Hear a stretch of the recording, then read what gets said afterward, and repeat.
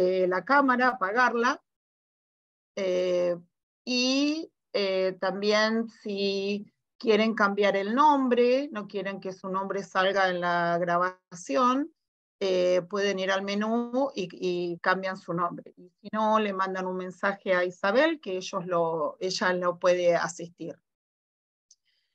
Y también les pedimos, por favor, que eh, apaguen sus, eh, que pongan en silencio sus micrófonos, así no hay interferencias. Al final de la eh, charla vamos a tener tiempo para hacerle todas las preguntas a Laura. ¿Y qué más queda? Bueno, cualquier duda que tengan, no, no duden en, en consultarnos al final o lo escriben en el chat como para que después al final no se olviden de las preguntas. Eh, voy a leer el reconocimiento de la tierra, como lo hacemos siempre, y vamos a, a empezar con el reconocimiento. La tierra en la que hoy nos reunimos es el territorio tradicional de los pueblos originarios Huron, Wendat, Alpechuan, los Seneca y más recientemente los Mississaugas del río Credit. El territorio fue objeto del acuerdo Dish with One Spoon de Wampum Belt, un acuerdo entre la Confederación Iroquesa y los Oshowibi y las naciones aliadas para compartir pacíficamente y cuidar los recursos alrededor de los grandes lagos. Hoy en día, el lugar de asentamiento y encuentro de Toronto sigue siendo el hogar de muchos pueblos indígenas de toda la isla Turtle. Estamos agradecidas, agradecidos y de tener la oportunidad de trabajar en la comunidad en este territorio. Ahora le dejo eh, el flor para Isabel. Gracias, Mercedes. Hola a todos. Como Mercedes dijo, yo soy Isabel Tobón y también soy eh, trabajadora comunitaria con el Scarborough Center for Healthy Communities. Eh, sabemos que es muy importante estar informados de los servicios de salud, las clínicas de vacunación, también cómo conseguir un médico de familia y demás recursos que existen en nuestra comunidad. Durante 42 años, el Scarborough Center for Healthy Communities ha sido una organización dedicada a apoyar la salud de la comunidad de Scarborough. Hemos estado con ustedes a lo largo de la pandemia proporcionando acceso a la información relacionada con el COVID, acceso a kits de protección, pruebas de antígenos rápidos, clínicas masivas. Pero nuestro centro también ofrece diferentes servicios, y estamos muy agradecidas de poderles brindar apoyo a la comunidad latina. Hoy vamos a compartir con ustedes una charla informativa sobre cómo navegar el sistema de salud en Ontario durante el embarazo. Esperamos que después de esta sesión salgan con, el, conocimiento necesario de qué paso seguir después de que nos enteramos que esperamos un bebé. Hoy nos complace presentar a Laura Solís, quien trabaja en el Hospital St. Michael's, la clínica de Riverdale Community Midwives y el Toronto Birth Center. Sin más preámbulos, ayúdenme a dar la bienvenida a Laura Solís. Laura, cuando esté lista, por favor, tome la palabra.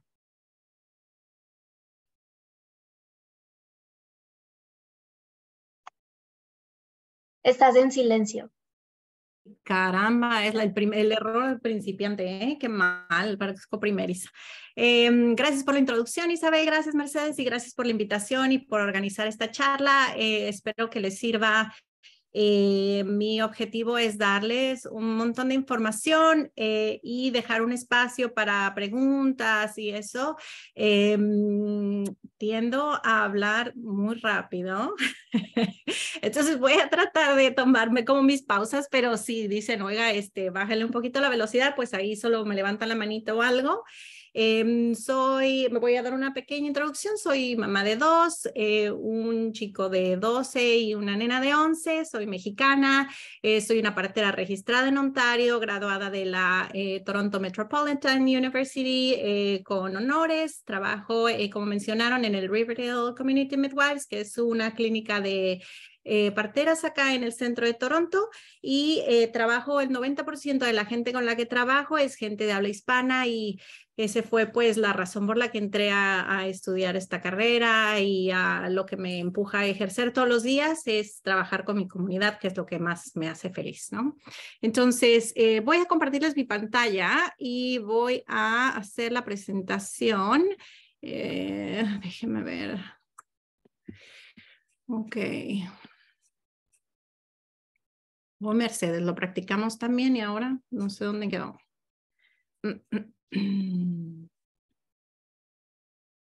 Bueno, estoy bajando, perfecto. Entonces, primero déjenme lo comparto y luego platicamos.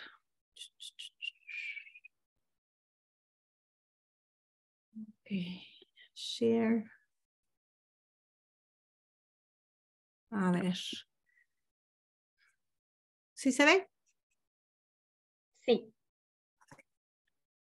Entonces, eh, voy a platicar un poquito entonces de eh, qué pasa cuando nos embarazamos, estamos en Ontario y ahora qué, ¿no? Hay eh, mucha gente que lo planea, pero hay mucha gente también que no planea eh, los embarazos y se ve en ese momento en el que dicen no sé, no sé para dónde.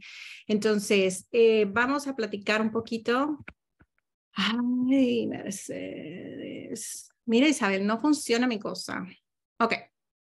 Entonces, lo que voy a tratar de hacer ahora. Eh, Isabel, ¿puedes tú apagar el, el share o no? Eh, ¿Que no lo compartas? Ajá, es que no me está funcionando la navegación. No sé por ¿O qué. quieres que lo comparta yo? Sí, mejor. Sí, claro. Cuando lo probamos funcionó, pero ahora no sé por qué no funciona. Ay, A que ahora ya no. Mm, ¿Te permite dejar de compartir? Ahí. ya. Listo, ahora empiezo a compartir yo. Gracias. Entonces, eh, em, igual, les comentaba ahí que los objetivos al principio va a ser a platicar un poquito como de las opciones. Eh, muchas gracias. A la, la próxima. Em, siguiente. Entonces, los proveedores de salud, ¿cuáles son sus diferencias y similitudes? Eh, las visitas durante el embarazo, ¿cuáles son? ¿Cuántas son?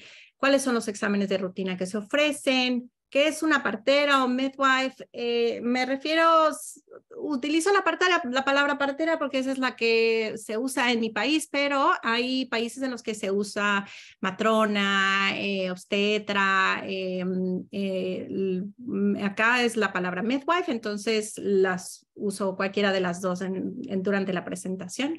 Eh, y vamos a platicar un poquito sobre qué es eso. Eh, ¿Qué pasa cuando no tengo un estatus en Ontario y estoy embarazada? Eh, después de que nace, ¿qué, qué hay que hacer? Y eh, dejamos espacio al final para una sesión de preguntas y respuestas. La siguiente, gracias. Entonces, tenemos, eh, si quieres quitarle primero la tablita para no distraer un poco, dale solo un clic para arriba. Gracias, Isabel. Eh, entonces, hay tres eh, proveedores de salud primaria que eh, ofrecen los cuidados para el embarazo y el parto. Eh, un médico de familia, al que tenga médico de familia, eh, las parteras y eh, los ginecobstetras. Eh, las, la gente que tiene médico de familia, hay que preguntarle al médico de familia si es que atienden embarazos, partos, esas cosas, porque no todos lo hacen. Y si quieren ir con una partera, no necesitan una referencia de un médico. Eh, si quieren ir con un ginecobstetra, la mayoría de las veces se, necesita una referencia del médico de familia. Entonces, eh, si el médico de familia no atiende embarazos y eso, lo, lo mandan a una referencia a un, uh, a un ginecólogo. ¿Ok? Entonces, las diferencias y similitudes. Eh, ahora sí, Isa, gracias por la, la, venga la tabla. Hice una pequeña tablita solo como para hablar en general eh, de las diferencias y similitudes. Vamos a, tocar en todas estas eh, durante la presentación, pero en general, básicamente es esto. Em, las visitas prenatales, todos tenemos las mismas visitas prenatales de rutina, utilizamos los mismos documentos en la provincia, se ofrecen los mismos exámenes ultrasonidos Algunos países le llaman ecografías. Em, los mismos chequeos clínicos, se checa la presión arterial, se escucha el bebé, se mide la barriguita, eh, todos recetamos medicamentos, es solo que las parteras eh, solo recetamos eh, medicamentos que son específicos del embarazo.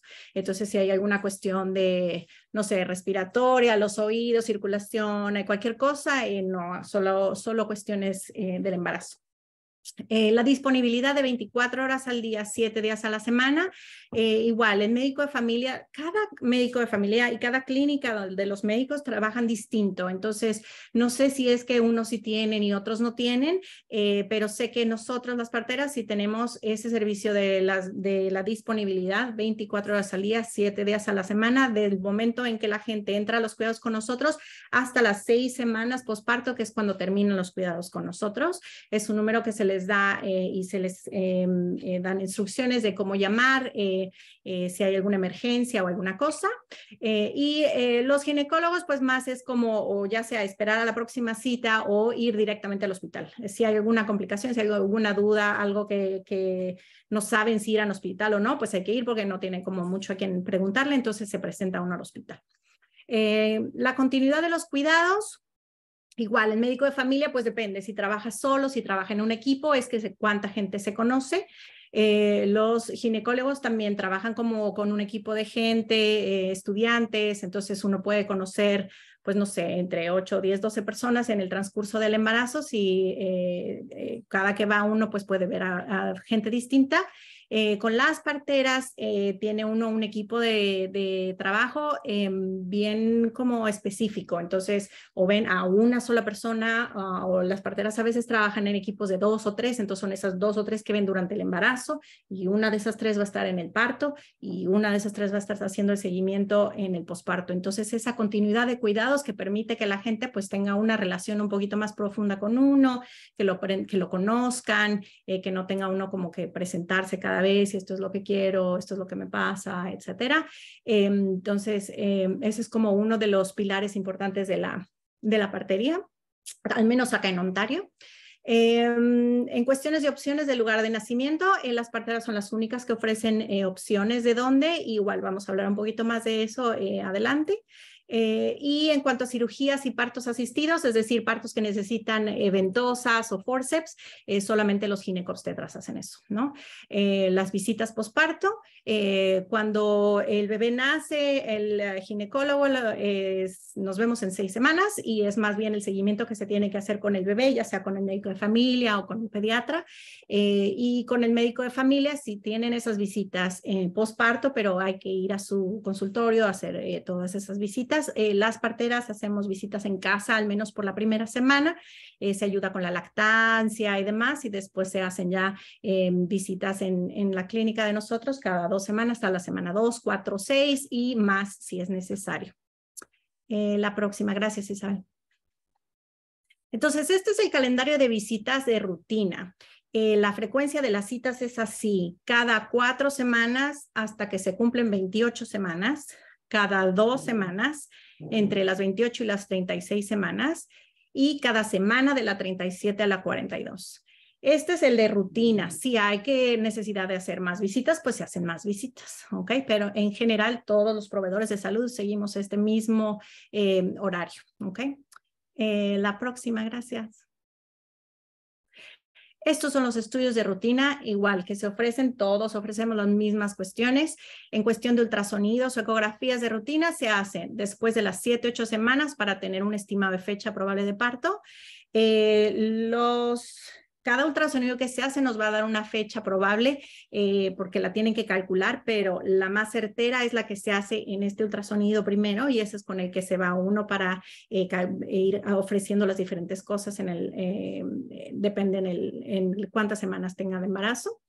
El siguiente es un estudio de genética que es, se llama EFTS, eh, o EFTS, que es el, el, de, el primer trimestre para eh, detectar la probabilidad de tener un bebé con síndrome de Down y defectos de tubo neural. Este es un ultrasonido y un examen de sangre que se hace en el mismo día y nos da como probabilidades de tener, em, como les comentaba, eh, un bebé con síndrome de Down o alguna cuestión con el tubo neural.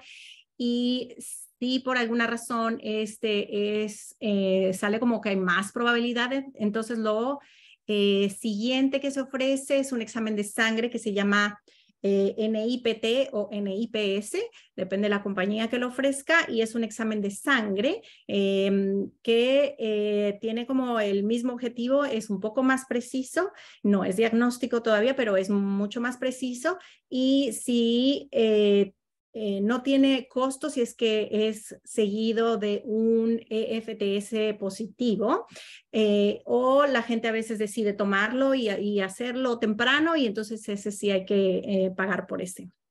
y bueno, en general, el último estudio de rutina o ultrasonido de rutina que se ofrece es el de anatomía, que es entre las 18 y las 22 semanas. Y ese es el ultrasonido donde le ven todo al bebé el cerebro, el corazón, los pulmones, las manos, los pies, el sexo, todas esas cosas ahí, ¿ok? Em, si todo está bien, ese es el último em, ultrasonido que se ofrece. Eh, ayer por la mañana estaba, participé de una eh, conferencia de em, eh, obstetras, y obstetras y radiólogos y el mensaje sigue siendo el mismo, no ofrecer más de lo necesario.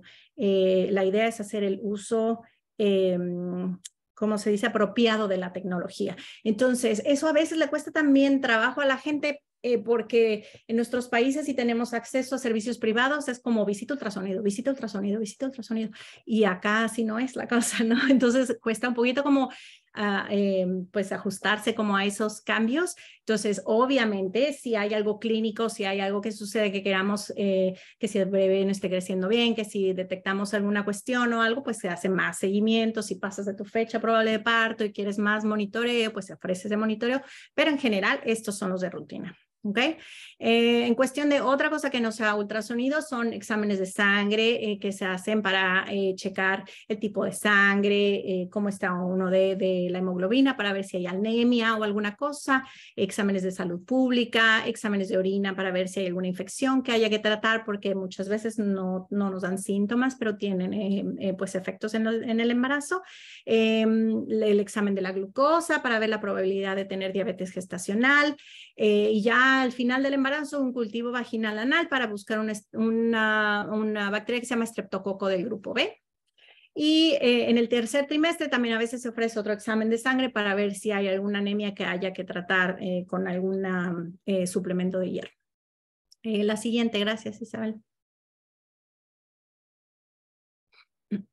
Ok, entonces eh, me voy a enfocar en las próximas em, diapositivas en que es una partera, sobre todo porque es una opción que no todo el mundo conoce. Em, yo siempre digo que es como el secreto mejor guardado, eh, pero la gente que, que venimos como de, países como el mío, en donde eso pues no es muy común, eh, uno dice, no, pues ni modo, pues me tocó con una partera, ¿no? Así como si fuera uno menos, pero en, en países, por ejemplo, eh, en Europa, en Francia, eh, el 99% de los embarazos eh, son con parteras, no ven a un médico, un obstetra, menos que sea necesario. Entonces, cuando viene alguien de Europa, Canadá, dicen, bueno, ¿y por qué hay tan poquitas? ¿Y por qué ya me tardé un poquito y ya no consigo a nadie?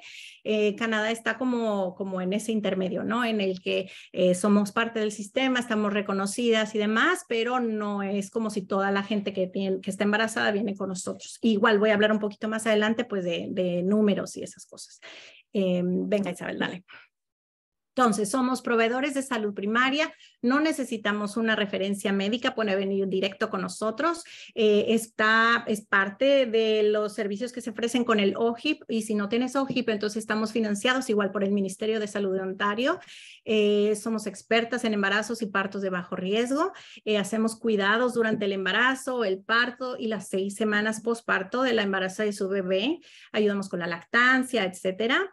Y como les platicaba, tenemos un enfoque holístico que quiere decir que eh, nos tomamos más tiempo con ustedes, ¿no? Nos tomamos más tiempo, eh, platicamos cómo te sientes eh, y vemos como el embarazo más que, más que solo cuestiones clínicas, ¿no? Como tener también la consideración de que es algo que nos está afectando pues emocionalmente, etcétera.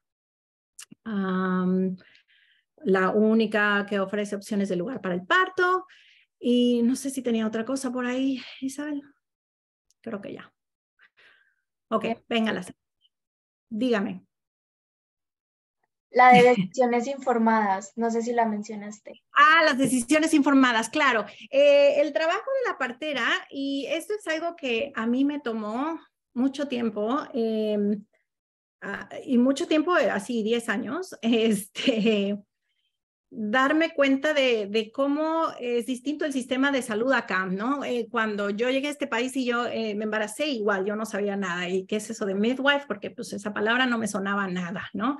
Em, y cuando me embaracé y fui con ellas y me decían, bueno, pues mira, esto es lo que se ofrece en este momento del embarazo, pues lo quieres hacer. Y yo decía, pues ¿cómo que si lo quiero hacer? Pues si lo que fue a la escuela fue usted, usted dígame si lo hago o no lo hago, ¿no? O sea, eh, pero acá, acá la cosa no es así. Acá uno tiene que ser responsable de su propio propia salud, acá uno es el que tiene que pedir las cosas, así, esto es lo que quiero, esto es lo que no quiero.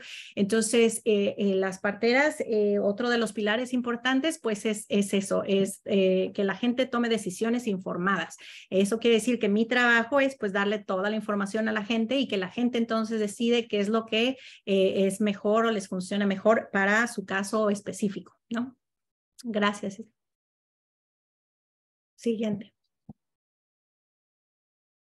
Ok, entonces, estas son estadísticas que son las más recientes que sacó la Asociación de Parteras de Ontario del 2020 al 2021 y nos da una idea. Yo soy una persona muy visual, entonces me gusta como las infografías porque nos da como un poquito más de idea de qué es lo que, eh, de, poder leer los números de una manera en la que los entendamos un poquito mejor. Entonces, em, el, ¿qué fue? Uh, el 82% de las, de las personas que, em, ah, ok, iba a empezar por la de hasta abajo. Hasta abajo en el amarillo dice que las parteras atendieron al 20% de los partos que sucedieron en Ontario, que son en, promedio de esos años 26,451 eh, 26, partos. Entonces, de todos esos partos, que es el 20% de todos los partos que suceden en la provincia, el 82% eh, son partos que se dieron en el hospital, 14% en casa y 2 en el centro de partos. Y acordarse que el centro de partos, el Birth Center, solamente hay dos en Ontario, uno en Ottawa y uno así en el downtown, en el centro de Toronto. Entonces, pues muchas veces es por geografía que la gente no, no tiene acceso a ellos, ¿no? Y la idea, pues idealmente sería que hubiera más, pero bueno, ese es tema de, otro, de otra plática. Em, ¿Qué más? La gente que planea partos en casa es el 7% cuando es su primer bebé y el 20% cuando es su segundo bebé. Eh, las investigaciones específicas de Ontario, es decir, no el Google y lo que dice que si es seguro el parto en casa, sino porque eso arroja mucha información de Estados Unidos, donde el, sistema de partería es bien distinto allá, cada estado es una cosa distinta. Acá las investigaciones específicas de Ontario muestran que un parto atendido por parteras en un hospital y fuera del hospital tienen los mismos resultados, excepto que cuando están en el hospital hay eh, más intervenciones. Entonces, si la gente tiene partos, eh, si la gente tiene embarazos eh, de bajo riesgo, es muy seguro planear un parto eh, fuera del hospital, ¿no? Cuando la gente está con parteras, el 79% de los partos son partos vaginales, 6% de esos partos vaginales son partos que son asistidos con ventosas o forceps y 21% son por cesárea tomando en cuenta que eh, el promedio provincial es de 32%, ¿ok? Solamente el 7% eh, eh, tienen episiotomías y recordar también que las episiotomías acá no se hacen de rutina ya, igual en nuestros países se siguen haciendo episiotomías de rutina, es súper triste, pero es verdad. no se hacen a menos que sean necesarias, ¿no? Y entonces con partera solo se hace el 7% de, de todos esos partos. Em, de alivios del dolor y la opción de la gente, 44% de la gente eh, que está con parteras eh, tiene epidurales, entonces eso también resuelve como muchas de las dudas y voy a hablar un poquito más adelante también de eso, de, bueno, pero es que si estoy con una partera lo tengo que tener en casa y ahí con un baldecito de agua caliente, no, ¿ok? 44% de la gente tiene un epidural. Eh, y em, en el posparto, el 74% de los bebés que están con las parteras eh, están dando lactancia exclusiva a las seis semanas, que es cuando eh, terminan los cuidados con nosotros. El promedio de la provincia no lo sé, pero es muy, muy bajo, ¿no? Y eso solo te habla de, pues, los beneficios que tiene, em, pues, tener a alguien ahí junto, ¿no? Que te ayude, sobre todo cuando estás, pues, que no tienes a la mamá, la abuelita, a la tía, nadie contigo, eh, pues la verdad sí hace mucha diferencia eh, que alguien venga a casa y que te ayude, que no tengas que salir de casa para tener esos cuidados, ¿no? Eh, siguiente, gracias Isabel. Ok, ¿quién puede tener los cuidados con una partera? Bueno, en general se dice eso, que personas sanas, con embarazos sanos, échamelas todas, Isabel. Gracias. Eh, las parteras somos expertas en embarazos y partos de bajo riesgo. ¿Eso quiere, qué quiere decir? Que sabemos identificar cuando vienen las complicaciones, ¿ok? Afortunadamente, y es lo que le digo a muchos de mis clientes, es, mira, los partos no son como la tele, ¿no? O sea, así nos han enseñado que es así como se rompe la fuente, todo el mundo grita, hay una emergencia, hay bendito el cirujano y uf, todo sale bien, ¿no? Y así no es, así no es porque si todo fueran complicaciones, este, la verdad no disfrutaría yo mi trabajo. Eh, cuando los embarazos son, son de bajo riesgo, pues todos los partos, la gran mayoría, pues son, son normales, ¿no? No hay, no hay como mucha complicación y cuando empiezan a haber complicaciones, eh, dan como, les llamamos banderas rosadas, ¿no? O sea, no es así como al rojo. Entonces, cuando hay banderas rosadas, pues es cuando actuamos, mm, mira, ¿sabes qué pasó esto? Vamos a hacer esto otra cosa, ¿no? Mm, ¿Sabes qué? Mira, esto pasó así, esto es el siguiente paso. Entonces, muy pocas cosas en esto son así de rápido y emergencia y corre pasa, ¿no? Y para eso eh, nos estamos entrenando y recertificando y certificando un montón de veces, ¿ok? Em, ¿Qué es lo que llevamos con nosotros o cómo es que un parto en casa es seguro? Pues eso, porque llevamos un hospital de nivel 1 con nosotros a todo momento. Entonces, eh, los hospitales que son los hospitales básicos se llaman de nivel 1 eh, y va subiendo, por ejemplo, si tienen un quirófano, si tienen una eh, salas de terapia de, intensiva de neonatos, ahí va subiendo, ¿no? lo que traemos nosotros es un hospital de nivel 1. Entonces, cuando la gente tiene un parto en casa, pues ponemos nuestro hospital en su casa, ¿no? Y esa es como una foto que ilustra un poquito de las cosas que llevamos. Pero eso es lo que lo hace muy seguro eh, y eh, las certificaciones que tenemos que hacer todo el tiempo son eh, emergencias obstétricas, resucitación de neonatos, em, CPR, esas cosas, y eso es constante, constante, constante. Entonces, la verdad es, es otra cosa, tener un parto en casa.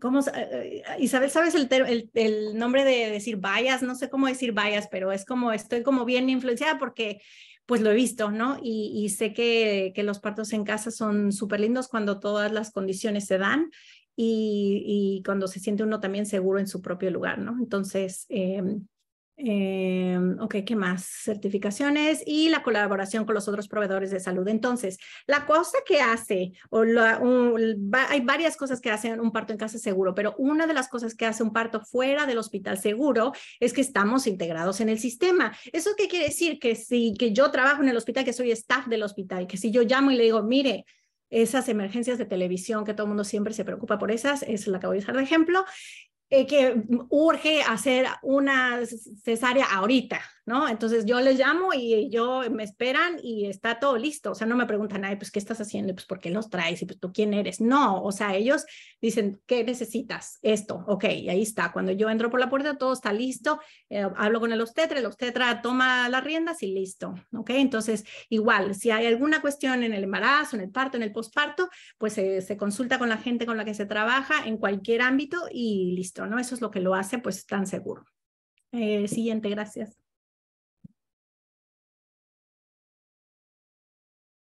Ok. Mucha gente pregunta entonces, ¿y cómo consigo una partera? De las cosas más importantes es aplicar súper pronto, es súper pronto porque no hay muchas, no somos muchas y se llenan los espacios bien rápido.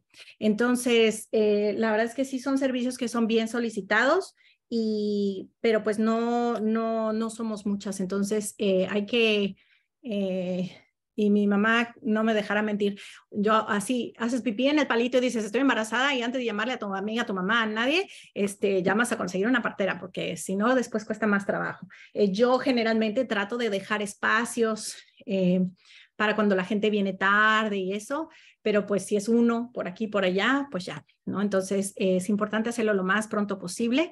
Eh, en general se trabaja por zonas geográficas, entonces pues hay que buscar cuál es la clínica que le queda una más cerca.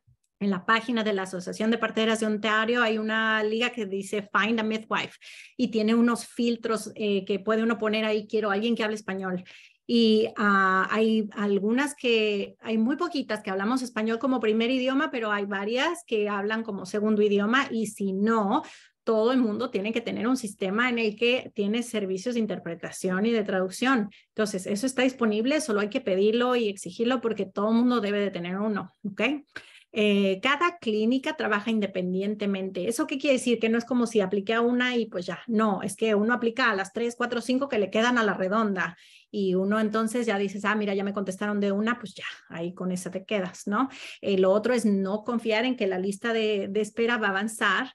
Entonces, si uno dice, no, pues mira, me pusieron en lista de espera eh, y ya pasó un mes, pues las probabilidades de que lo acepten a uno son muy bajitas, no puede uno sentarse y es como parte de lo que les decía del sistema acá. Uno tiene que agarrar las riendas de su propia salud, y ahí no, ¿dónde? Y ahí no, ¿dónde? Y a buscarle y a buscarle, porque em, eh, no, no podemos sentarnos solo a esperar, ¿no? Entonces, pues si ya pasó una, dos semanas después de que aplicaron, llamar, mire, ya apliqué este, ¿será que tendrá espacio para mí o no? Ok, a la siguiente y hablar y otra vez, ok. Em, cada clínica trabaja en un hospital distinto y específico. Entonces, yo trabajo en el hospital de St. Michael's, no puedo trabajar en otro hospital. Si mi clienta por alguna razón fue a otro hospital, yo no puedo entrar ahí como staff porque yo no soy, no trabajo ahí, pues, ¿no? Entonces, em, pues hay gente que dice, no, pues a ver, ¿qué hospital quiero, qué clínica queda? Y así, ¿ok? Eh, no todas tienen acceso al centro de parto, de nuevo, es solo pues por cuestiones geográficas, ¿no? Eh, la siguiente, gracias, Isa.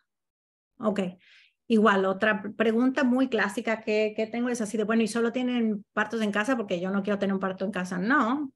Las parteras para poder ejercer tenemos que poder ofrecer las opciones, ¿ok? No hay parteras que solo hacen partos en casa, no hay parteras que solo hacen partos en el hospital. Eh, tenemos que ofrecerlas todas como opción, ¿ok?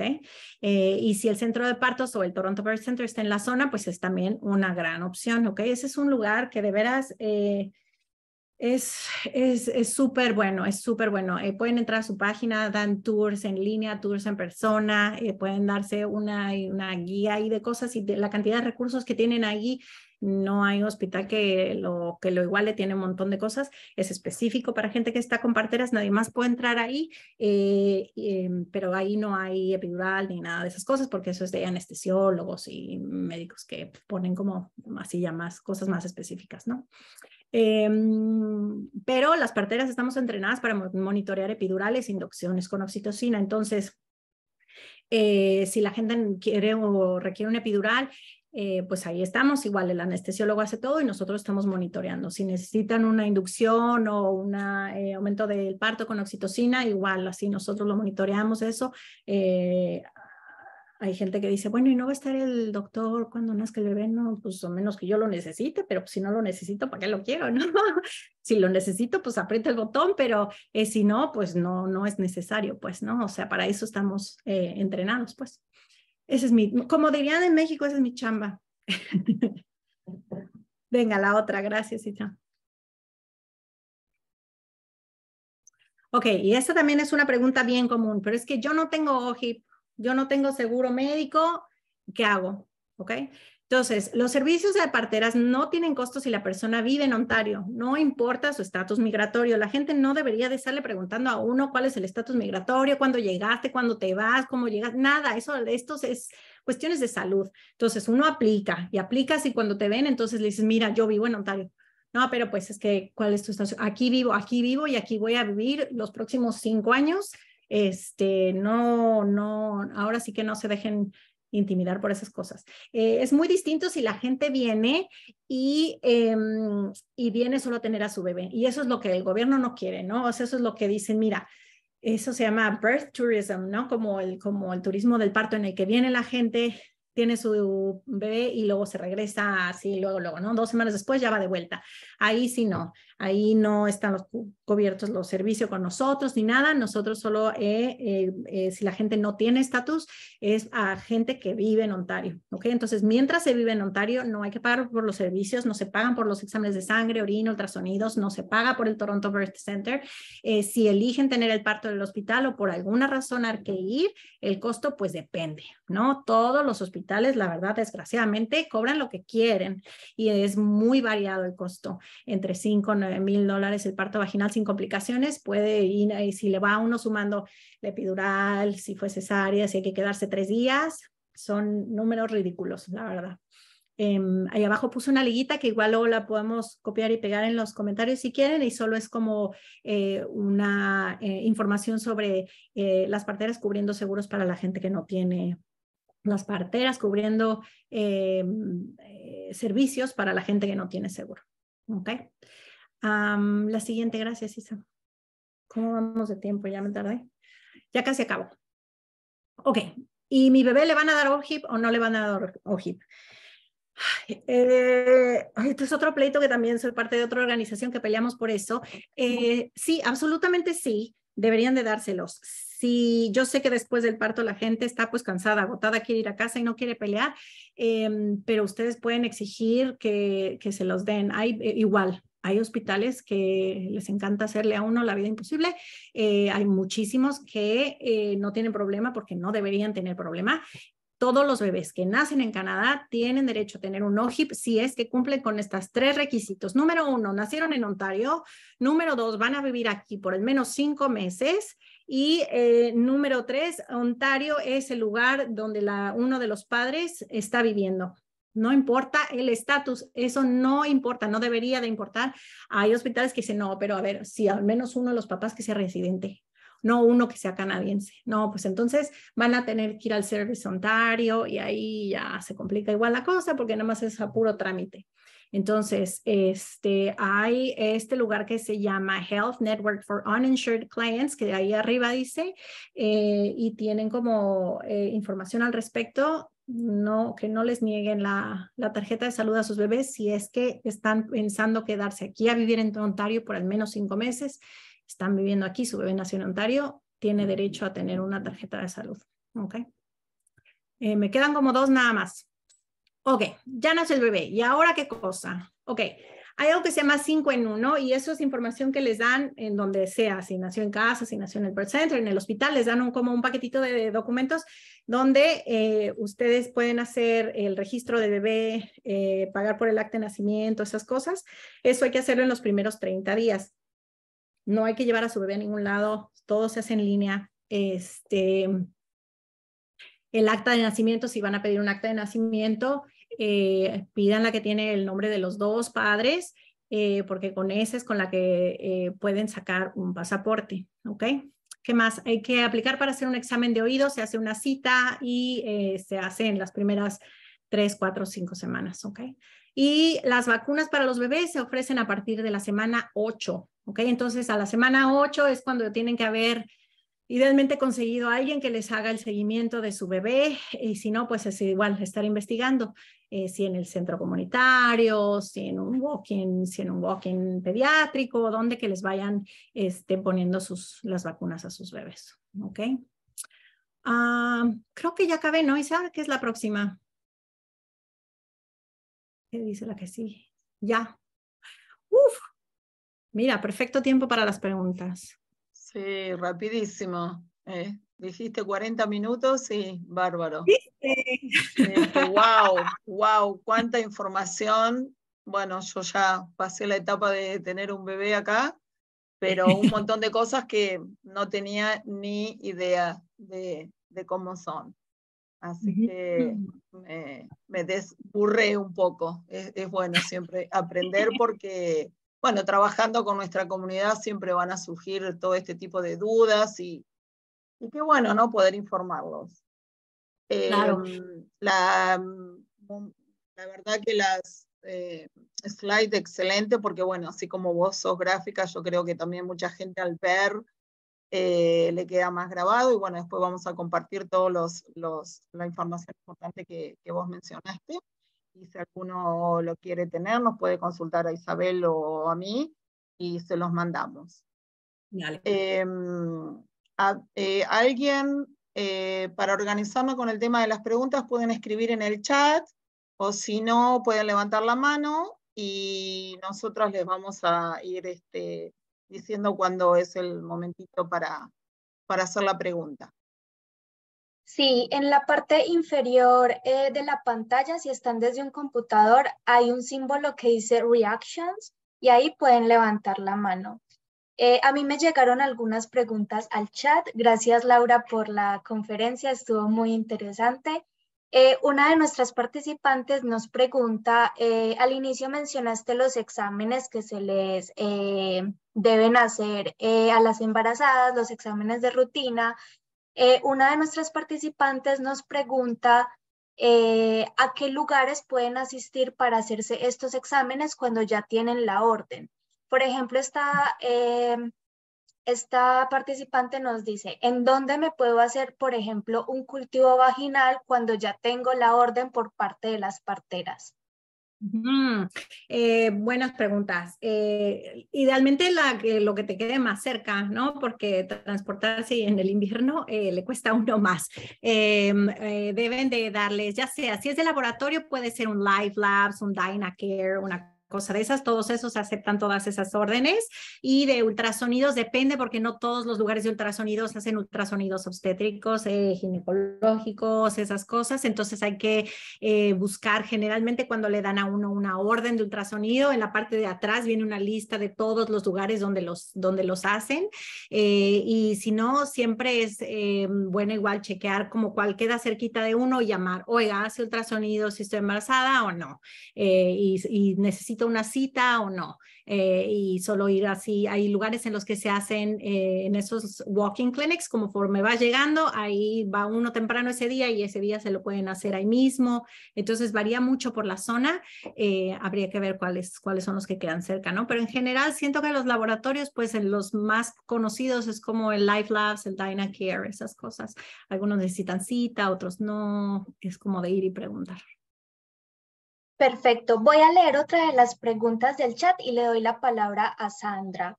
Eh, dice, ¿a qué se considera embarazo de alto riesgo eh, para que se derive a un obstetra y si tiene algún costo?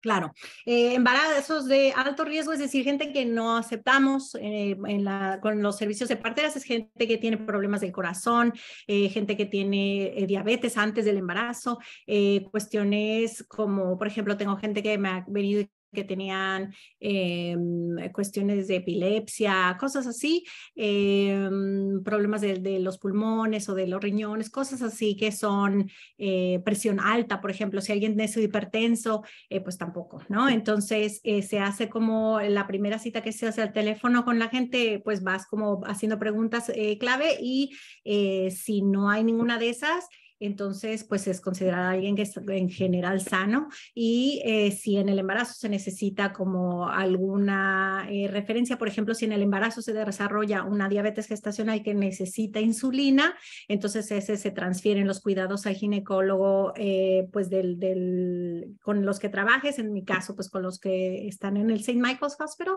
y em, no debería de tener ningún costo si es que tienes la tarjeta de salud, si no tienes una tarjeta de salud, pues depende de los arreglos que tenga la clínica de parteras con ese hospital específico. Ok, muchas gracias. Eh, le voy a dar la palabra en este momento a Sandra y luego continuamos con las del chat.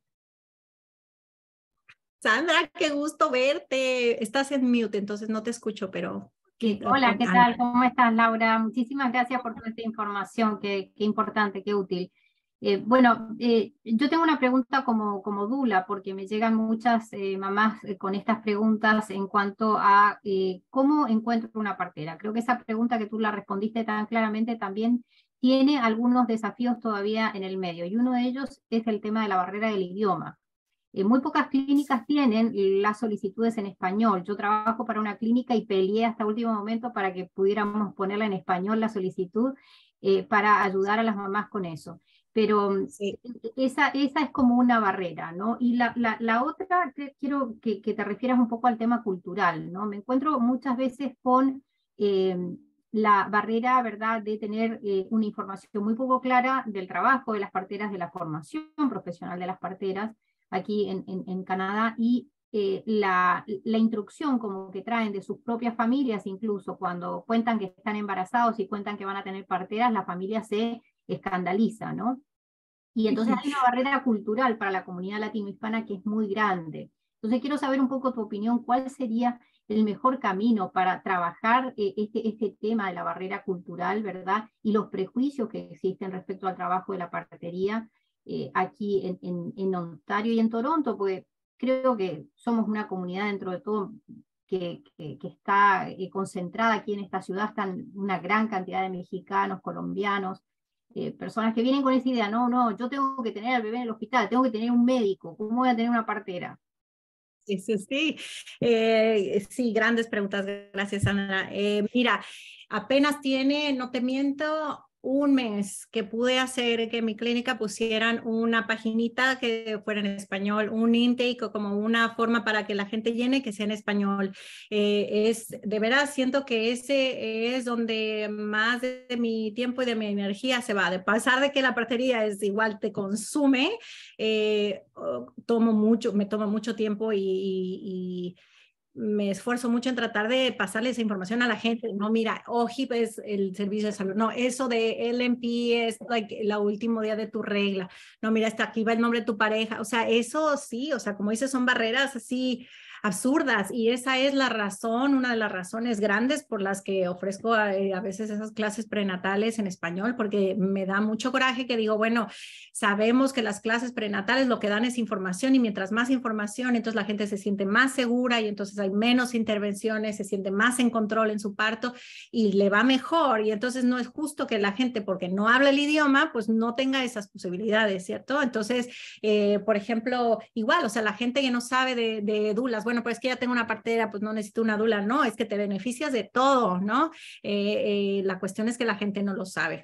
Y cuestiones como lo que comentas de, de la cultura es, mira, un cambio que he tenido que hacer. Eh, desde que empecé a trabajar con más gente que habla español. Entonces, cuando yo trabajaba con la gran mayoría de gente que, eh, que son el, blanco canadiense privilegiado, eh, es gente que viene y que dice, ah, es que yo quiero el parto mi casa, en el agua latina, que tengo la dula, tengo todo, porque tiene toda la información, porque sabe exactamente lo que quiere y ya, ¿no? Y entonces uno dice, bien, pues ya, yo te doy lo que, lo que te ofrezco, pues todas esas eh, cosas que puedo ofrecerle a todos, pero sabe esa gente lo que quiere eh, comparado con la gente que viene de nuestras culturas, incluida yo, o sea, eh, cuando yo llegué a este país y me embaracé, era, yo decía, bueno, mira, cuando yo me embaracé, me embaracé y voy a tener el bebé, pues voy al hospital y alguien me saca al niño, ¿me entiendes? Entonces, eh, mm, yo tuve mis niños acá en casa con partera, pero mi papá es médico y nunca le dije lo iba a tener una partera, que los iban a tener en casa hasta que nacieron. Después de que nacieron ya le conté la historia, ¿no?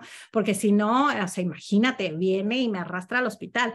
Entonces tenemos como estas ideas de que los, de que los edificios son los que nos dan la seguridad, porque en nuestros países así nos hacen ese sistema paternalista en que el otro sabe más que yo, ¿no? El otro sabe más de mi cuerpo que yo, el otro sabe lo que es mejor para mí, este, yo no tengo como agencia y, y acá, acá es distinto. Entonces he tenido como que cambiar mucho cómo practico yo eh, por la gente con la que trabajo, porque ahora en lugar de que la, eh, yo le tenga que convencer a la gente, no, mira, este parto ya no no es seguro para que estés en la casa, nos tenemos como ver y la gente necia que quiere quedarse en casa, es al revés, es decir, mira, estas son tus opciones, no, no, no me hables de nada, yo solo quiero en el hospital porque en el hospital, pero va a venir el doctor y yo, ¿cuál doctor? Pero si todo está bien, pero no estás enferma, solo estás embarazada y si todo va bien, pues todo va bien, ¿no? Entonces es como un montón de trabajo que, que, que vas haciendo como en cada visita y mira, a ver, ¿qué es lo que te da miedo? Mira, esto es lo que pasa, todo esto es normal eh, y tratar de que la gente tenga como un poquito ese cambio de mentalidad que cuesta, cuesta mucho, ¿no?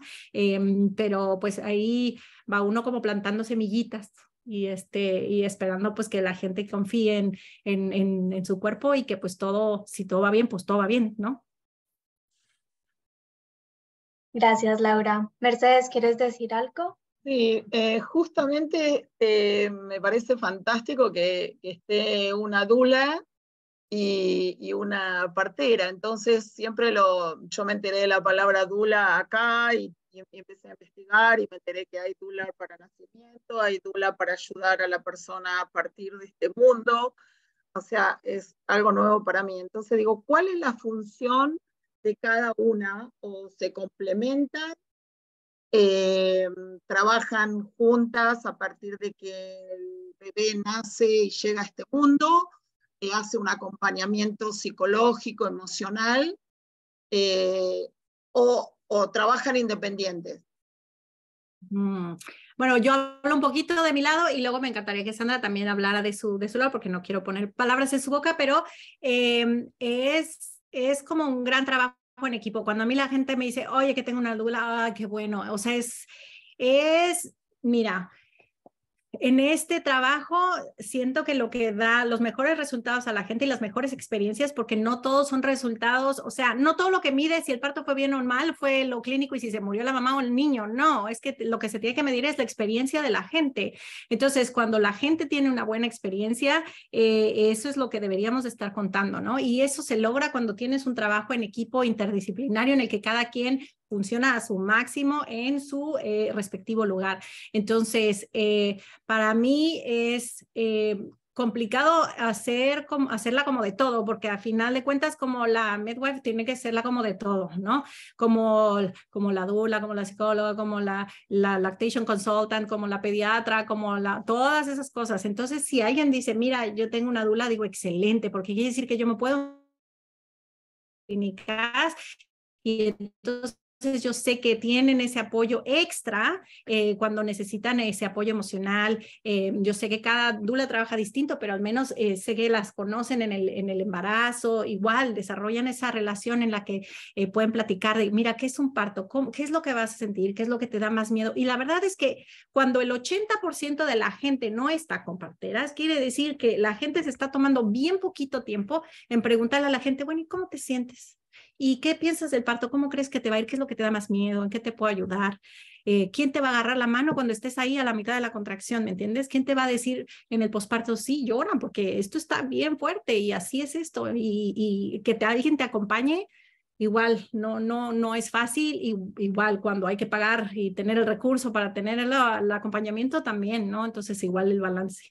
Pero Sandra, me, me gustaría escuchar también de Sandra. Eh, bueno, sí, creo que respondiste exactamente. El, problema acá, digamos, es que son dos sistemas distintos porque si bien compartimos la misma filosofía, ¿verdad? Y, respetamos el parto eh, como un, derecho, ¿verdad? De, tener eh, información consensuada con la partera, ¿verdad? En donde haya conocimiento y la decisión siempre la tome eh, la, persona embarazada junto con su familia y pueda eh, saber los pros y los contras de cada una de estas cosas, es decir, se involucre en la decisión. Eh, le damos continuidad también de cuidado, igual que las parteras. O sea, hay muchas cosas de la filosofía de la partería que las dulas seguimos y estamos ahí para apoyar, ¿no? Pero la gran diferencia creo que es el funcionamiento de nuestro sistema, pues nosotros no estamos dentro del modelo de salud, estamos fuera del modelo de salud y eso nos excluye de la posibilidad de brindar este servicio a las mujeres que más lo necesitan, que son las mujeres precisamente que no pueden pagar por una dula. Entonces allí estamos ya en un problema, digamos, sistémico, ¿no? De poder eh, ofrecer nuestro trabajo. A mí me ha tocado desde que eh, trabajo como dula hace siete años, bueno, eh, y, en mi formación, ¿verdad? Serví muchísima gente de manera pro bono para, para precisamente ayudar y tengo lo que se llama una escala más flexible, ¿no? Para casos que realmente sé que necesitan. Eh, entonces, e, esto es la gran diferencia, me parece que no estamos dentro del sistema. La otra diferencia importante es que nosotros no hacemos nada clínico, es decir, nosotras no tenemos una formación profesional de cuatro años como las parteras, nosotras nos formamos aprendiendo de un poco de aquí y de allá, eh, porque no es una profesión regulada. Entonces, es, de esa manera eh, nosotros no podemos diagnosticar, no podemos hacer ningún examen, no podemos intervenir en ninguna decisión, pero sí podemos ayudar a anticipar cómo va a ser el escenario del parto, a dar educación prenatal, a dar información, a responder preguntas. Y en el parto hacemos un, trabajo que a mí me gusta mucho, que es en el comienzo del trabajo de parto, cuando la mamá dice, ay, eh, estoy perdiendo un poquito de sangre, tengo mis primeras contracciones que son todavía súper leves y súper despacito, pero ¿qué tengo que hacer? ¿Qué puedo hacer en este momento? ¿no? Entonces, bueno, ayudar a la mamá antes de el famoso 511, ¿no? que es cuando ya tienen que llamar a la partera y ya se pone en funcionamiento todo ese sistema fantástico de atención. ¿no? Pero antes de eso surgen algunas otras necesidades emocionales, sobre todo en algunos casos físicas también, que nosotras las dulas acompañamos. Y entonces el inicio del parto es también eh, en calma eh, y con información y de una manera mucho más tranquila, cosa que cuando ya la partera llega como que el, el, no hay una situación así de estrés ni de emergencia, sino que es un parto mucho más en calma. Totalmente. Y mira, Mercedes, eh, cuando alguien tiene la, la, la dula y cuando habla la, la, gente dice, mira que ya estoy de parto y mi dula dijo que te llame, digo, ah, entonces sí, ya voy. Porque, porque igual, o sea, ellas saben, ¿cierto? O sea, han visto también un montón y entonces, eh, es, te digo, ese trabajo en equipo que es bien lindo y sí es cierto, en cuanto tú entras, ese lugar es un lugar tranquilo, en el que la gente se siente como apoyada y, y es una excelente manera de arrancar ese, ese trabajo de parto, ¿no? Gracias. Por cuestiones de tiempo, ya son las 7 y 28, voy a hacer eh, una última pregunta eh, pero si tienen eh, otras preguntas o no alcanzamos a leer la pregunta que mandaron en el chat, me pueden mandar eh, su pregunta al correo que acabo de poner ahí y las podemos compartir con Laura y para que nos responda después. la última pregunta sería, ¿el bebé ya nació? Eh, cómo se puede conseguir eh, un, pediatra, un pediatra para el bebé si no se tiene la tarjeta de, si no se tiene, si los papás no tienen la hoja. Em, hay walking clinics, que son esas clínicas que conforme vas llegando, que son pediátricos especiales para, para atención a niños. Es que aunque tengas el OFI, conseguir un pediatra es tan complicado eh, el problema es que muchos médicos de familia que se están retirando, eh, muchos que no están aceptando pacientes nuevos. Eh, entonces, es más, tal vez, y lo que yo generalmente le digo a la gente es que es probablemente más fácil conseguir un médico de familia que un pediatra. Igual venimos como de los países donde pues es que el niño, entonces pediatra, ¿no? Pero acá como es como el especialista, entonces más como la punta de la pirámide, entonces hay menos pediatras todavía que médicos de familia que atiendan niños. Entonces vas a tener como más probabilidad de encontrar a un médico de familia que acepte eh, niños a un pediatra, eh, porque como los pediatras son especialistas, pues entonces se enfocan un poquito más como en, en bebés que necesitan cuidados especiales, ¿no? Pero es la pregunta del millón, la verdad, es súper complicado conseguir un médico de familia, conseguir un pediatra, conseguir a alguien que le siga eh, a uno o a su bebé. Híjole, si tuviera la respuesta, este, sería millonaria, pero no, no hay tal. Gracias, Laura. Eh, yo creo que por el momento eh, esa es eh, la presentación, ese es el tiempo que tenemos. Como les comenté en el chat, dejé un correo por si quieren enviar otras preguntas que tengan y se las podemos compartir a Laura. muchas gracias, Laura, eh, por la presentación, por su tiempo, por la información eh, tan, tan, valiosa eh, para la comunidad latina, no solo en Scarborough y en Toronto, sino en todo Ontario. Ya saben que si necesitan alguna ayuda sobre cualquiera de nuestros servicios, em, si necesitan su vacuna del COVID-19 o si están interesados en saber más del Scarborough Center for Healthy Communities, nos pueden contactar a Mercedes o a mí a los números que aparecen en pantalla. Eh, tenemos el teléfono, normalmente contestamos WhatsApp, llamadas, eh, el método que ustedes prefieran y también el correo electrónico. Eh, al finalizar la reunión aparecerá una evaluación. cuando cierren la pantalla de Zoom aparecerá una evaluación, son cinco, son cinco preguntitas para que nos dejen saber cómo les pareció todo y les agradecemos mucho por su tiempo y por estar aquí. No sé si Mercedes quiere decir algo más. Bueno, ya creo que cubriste todo. También súper agradecida, Laura, por, por este tiempo. Con, veo la pasión con la que hablas y, y, se siente. Y bueno, también gracias también, Sandra, que vos también diste tu, tu parte, ¿no? Que, que, es otra parte que no, no, conocía yo y seguramente un montón de futuras mamás. Eh, y ya que estoy, les cuento que el jueves 24 vamos a estar otra vez en el YMCA del Scarborough Center eh, con clínica de vacuna de flu y COVID. Así que los esperamos de 12 a 5, vamos a estar Isabel y yo. Y bueno, este, gracias por acompañarnos y que tengan buenas noches. Gracias, gracias por la invitación. Gracias, chao, que estén bien. Chao, gracias. Gracias, Laura. 好。